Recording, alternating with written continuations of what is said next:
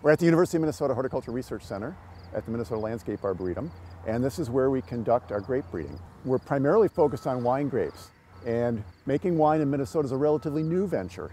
We've been at that since 1978 and have introduced four varieties so far, the Frontenac, Frontenac Gris, La Crescent, and Marquette. And these varieties really form the backbone for the, uh, the local wine industry in our state and also in the surrounding region. A study was done uh, in 2007, which is the latest study that we actually have, which showed that there are probably about 1,200 acres of grapes now in the state. And the contribution to the economy was about $36 million back in 2007. So that's kind of the scale that we're on right now. Usually, I would say in, in, the last several years, we've been adding about three to five new wineries per year. Our varieties of cold hardy grapes are grown really all across the northern tier of the United States, in the, in, from the Midwest here across to New England. There are wineries from Maine, New Hampshire, Vermont, down through Connecticut, uh, Massachusetts, through parts of New York and Pennsylvania, uh, Michigan, Wisconsin, um, all that grow the and rely on the varieties of grapes that we've developed here at the University of Minnesota.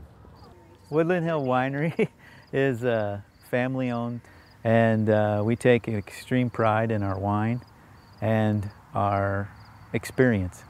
Uh, we grow two different varieties of uh, cold hardy grapes. We grow uh, the newest variety called Marquette and uh, that we make our Vinnie's Red from, which we named after our dog. And then we have uh, La Crescent, which is our largest planting that we have in our vineyard. You can always uh, look at a U of M cluster and kind of know it's a U of M grape by this trailer that comes off the side. Very pretty. I'll have that little second.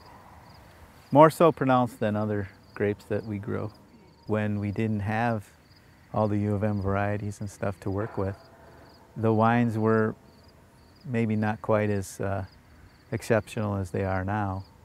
And so we, as an industry in Minnesota, have had to kind of battle our way out of that. And, uh, you know, on a daily basis, people are, are like, wow, you know, this is really good. Myself and others have won awards, you know, not only locally, but throughout the nation. So, I mean, it's not like we're, uh, we're just an anomaly or anything. It's, we're kind of here to stay, I think.